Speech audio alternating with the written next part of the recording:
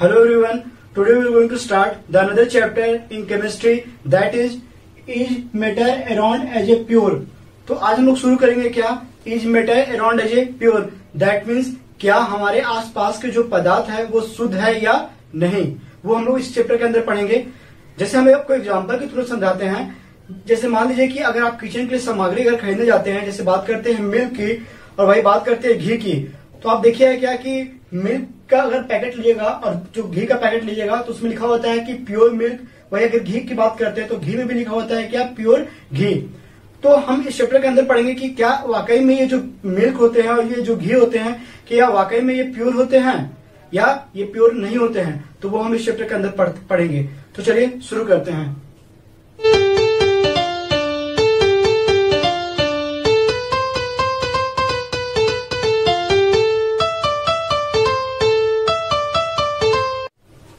Chapter को start करने से पहले हमको ये समझना पड़ेगा कि ये जो मैटर्स होते हैं, ये क्या होते हैं? What is matter what is the meaning of matter तो हमने पहले भी पढ़ा है कि जो मैटर्स होते हैं, वो क्या होते हैं? बहुत ही छोटे छोटे पार्टिकल से मिलकर बने होते हैं। क्या होते हैं? बहुत ही छोटे छोटे पार्टिकल से मिलकर बने होते हैं, जिन्हें हम क्या बोलते हैं? एटम्स जिन्हें हम बोलते हैं क्या? आइटम्स जैसे किसी भी का भी एग्ज़ाम्पल लेते हैं, जैसे मान एक पहाड़ के एग्ज़ाम्पल लेते हैं तो ये जो पहाड़ है, ये क्या है? ये भी जो एक पार्टिकल्स लेते हैं तो ये भी क्या होते हैं? बहुत छोटे छोटे पार्टिकल्स से मिलकर बने होते हैं, जिन्हें हम बोलते हैं क्या? एटम्स अब हम ये भी जानते हैं कि जो मैटर्स को हम लोग क्या कर सकते हैं क्लासिफाई कर सकते हैं थ्री पार्ट्स में। ये भी हम जानते हैं, बहुत पहले पढ़े हैं कि जो मैटर्स को हम लोग क्लासिफाई कर सकते हैं तीन पार्ट में।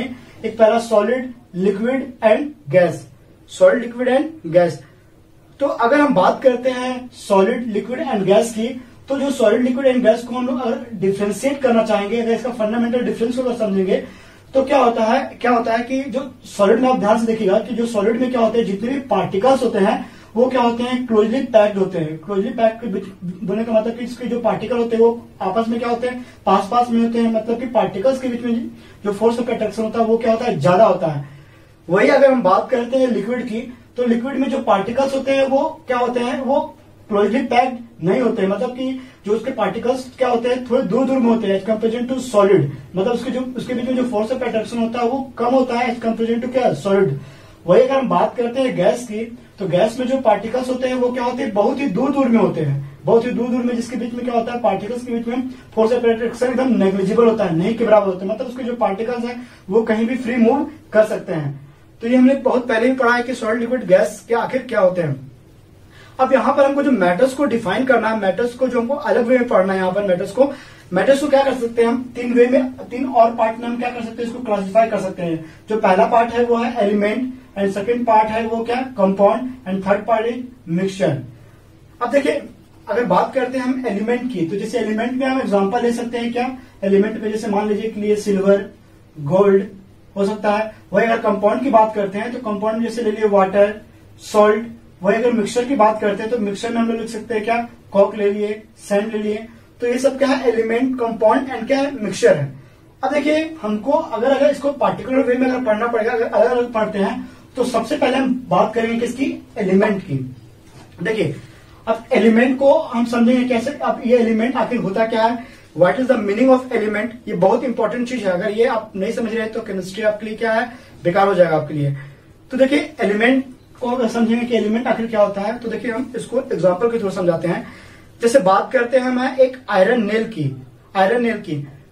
तो देखिए क्या आयरन नेल में अगर देखिएगा देखिएगा तो आयरन नेल के जितने भी पार्टिकल्स होते हैं आयरन नेल के जितने भी पार्टिकल्स होते हैं, वो आपस में दूसरे से क्या होते हैं आइडेंटिकल होते हैं। आइडेंटिकल बोलने का मतलब कि जितने भी पार्टिकल्स होंगे, वो क्या होंगे सेम होंगे।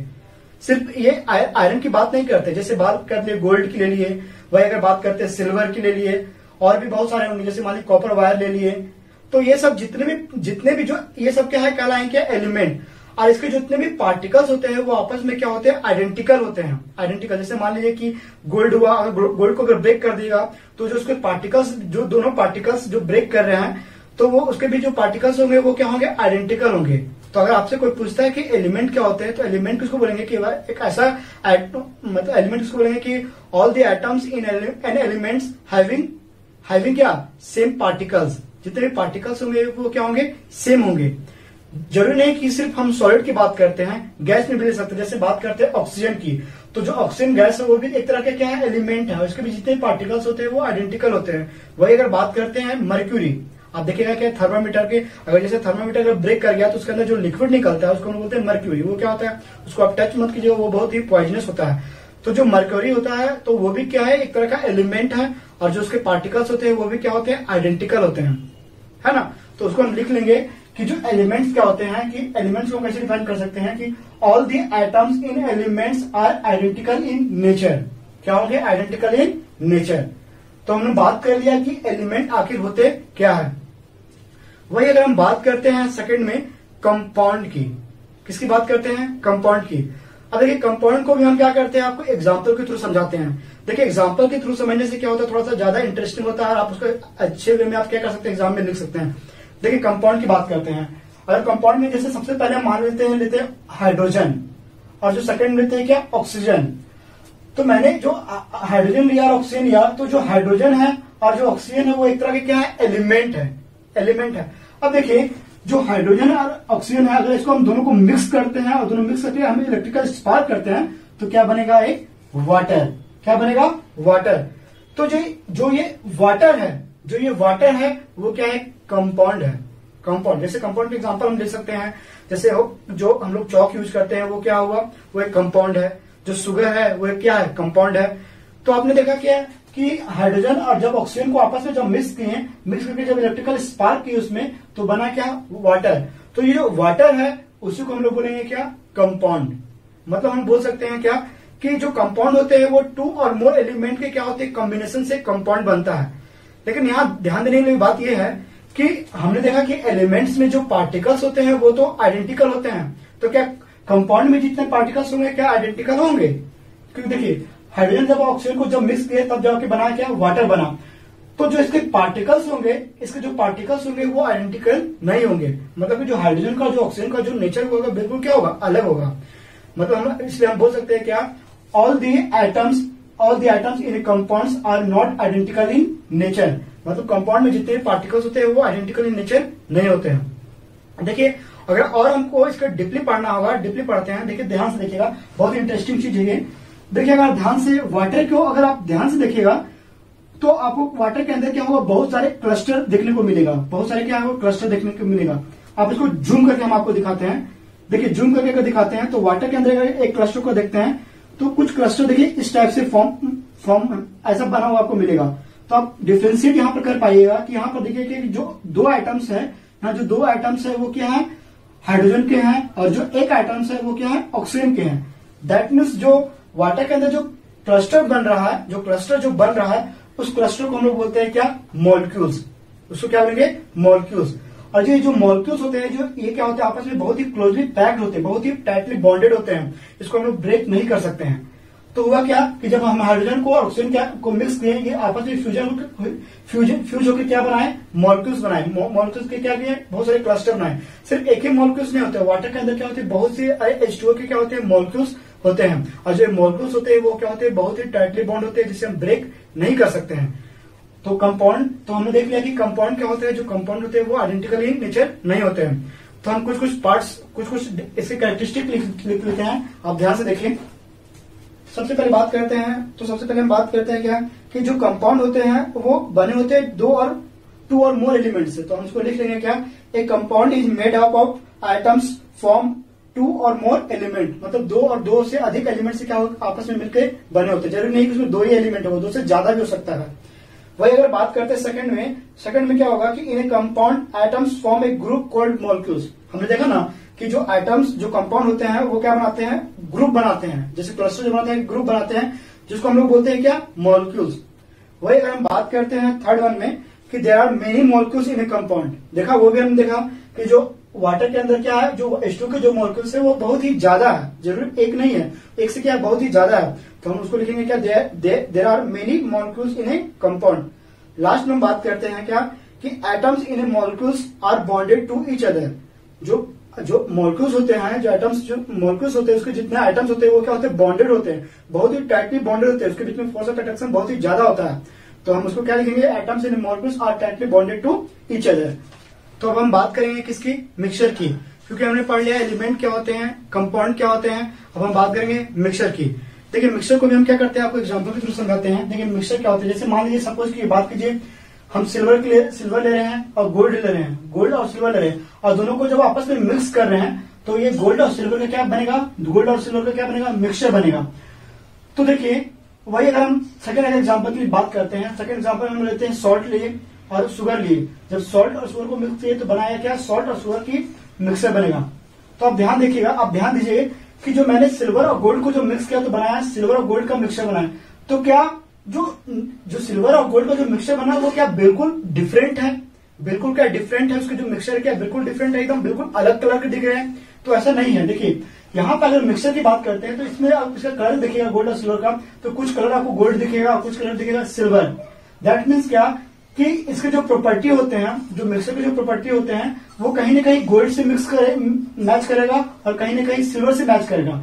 मतलब हम लोग क्या बोल सकते हैं कि मिक्सर के अंदर क्या होता है कि मिक्सर का जो प्रॉपर्टी होता है, वो सिमिलर होता है, जिस कंस्टिट्यूएंट एलिमेंट से वो मिलकर बना होता है। जैसे बात करते हैं देखिए वही अगर बात करते हैं जैसे सॉल्ट की और शुगर की तो सॉल्ट और शुगर का जब हम मिक्सर लिए तो उसका जो प्रॉपर्टी होगा, कहीं ना कहीं वो मैच करेगा सॉल्ट से मैच करेगा और कहीं ना कहीं शुगर से मैच करेगा। क्यों? क्योंकि देखिए, अगर आप उसका मिक्सर को अगर टेस्ट कीजिएगा तो आपको थोड़ा सॉल्टी लगेगा, थोड़ा क्या शुगर शुगर का टेस्ट लगेगा, थोड़ा सा मीठा लगेगा आपको। तो कहीं ना कहीं उसका प्रॉपर्टी एग्जिबिट कर रहा है, वहाँ पर प्रॉपर्टी एग्जिस्ट कर रहा है। तो देखिए, यहाँ पर यहाँ पर क्या हो रहा है?